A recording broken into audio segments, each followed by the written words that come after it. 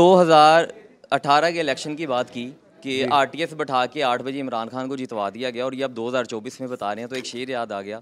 तुम्हें सब खबर है दुश्मन के ठिकानों की शरीक जुर्म ना होते तो मुखबरी करते। वाह। ठीक है जी पॉइंट सवाल आपको सर आपके लिए भी मेरे लिए सवाल है कोई? बहुत देर कर दी मेहरबान आते आते मैं आपकी दोस्ती उस्मान डार जितनी तो नहीं है कि आपकी हवेली में आके मजम्मत करता नौ मई की। लेकिन मैं यहाँ पे नौ मई की मजम्मत करना चाहता हूँ कि पाकिस्तान के सबसे पॉपुलर लीडर इमरान खान को जिस तरह जेल में डाला इन ये यूथ आठ फरवरी को वोट डाल के उसका बदला। बोलो बोलो बेटा। मुझे आपकी बात पे नहीं साहब एक मिनट। बोले आप जो कहना चाह रहे हैं। कुछ कहना चाह रहे हैं। अब आपने टोक दिया। आपने बात कर दी, बड़ी अच्छी बात है।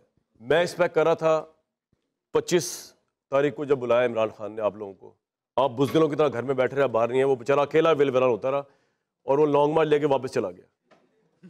इमरान खान ने आर्मी चीफ के खिलाफ लॉन्ग मार्च किया, उसने आपको बुलाया, आप बुजदिलों की तरह घरों में बैठे रहे, आप नहीं आए, वो बेचारा गोलियाँ पड़ी उसको।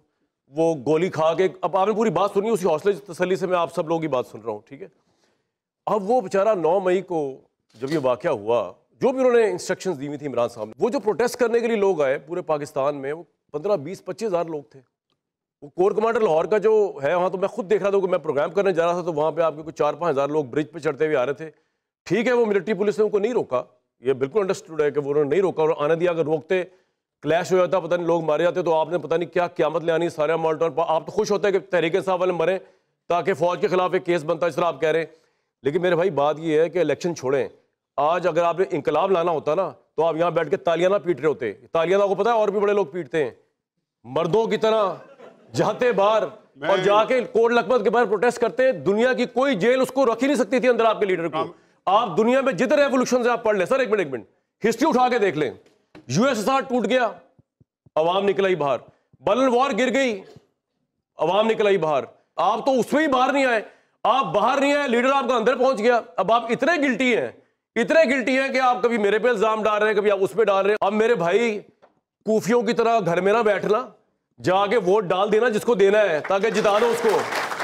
ठीक है ना? बस बस बस इतनी बात ये। आगे मैं दूसरी आगे भी चल रहा ना मैं। मैं- यार आपका मेरा कॉन्टेस्ट फिर किसी बाहर चल के कर लेंगे डिबेट करेंगे इंटेलेक्चुअल नहीं नहीं साहब आपसे बात नहीं हो रही ना सर उनकी मेरी बात थी ओहो आपकी बात खत्म होगी ना सर नेक्स्ट क्वेश्चन जवाब एक शेर है। नेक्स्ट नहीं नहीं बेटा बेटा बात करें करें आप नहीं, वोट डालें नहीं करनी।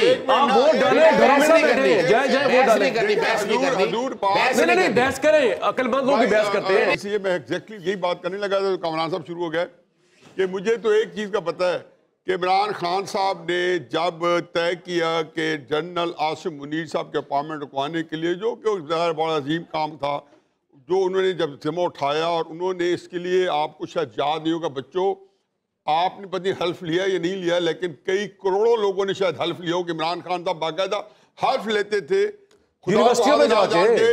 कि तो आप लोग आएँगे और वो तीस लाख का मजमा उनको चाहिए था पच्चीस अप्रैल का ज़िक्र किया छब्बीस नवंबर का ज़िक्र किया अगर हकीकत यह है कि वहाँ पे तीस लाख नहीं तीस लाख बंदे भी आ जाते ना तो मैं आपको यकीन दिलाता हूँ कि आसिम मुनीर साहब चीफ ना बनते एक मैं एकेडमिक बात कर रहा हूँ इसका मतलब है कि जब आप तीस हज़ार बंदा नहीं इकट्ठा कर सके तो अब आप जाके अंदाज़ा कर रहे हैं कि आप पूरे पाकिस्तान के अंदर उनकी शेर सुन के किसी के और किसी के क्या सुन के इनफैक्ट ये इस बात का अपने अपनी जो औकात है ना वो संजू एक बहुत बड़ा चाइनीज़ फिलासफर था।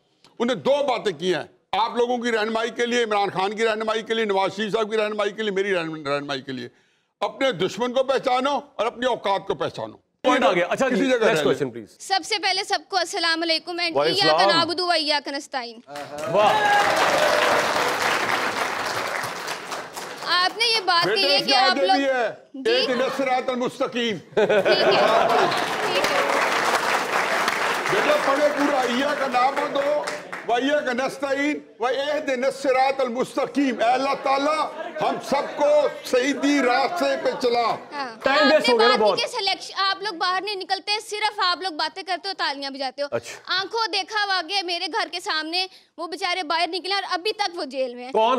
मेरे घर के सामने बच्चे गए हैं जे वो बट्टी साहब आपकी तो बड़ी सेहत छुड़ाया जाके यार अच्छा जी आप जाती जाती इश्यूज़ नहीं सेटल करने इधर हम सबको पता है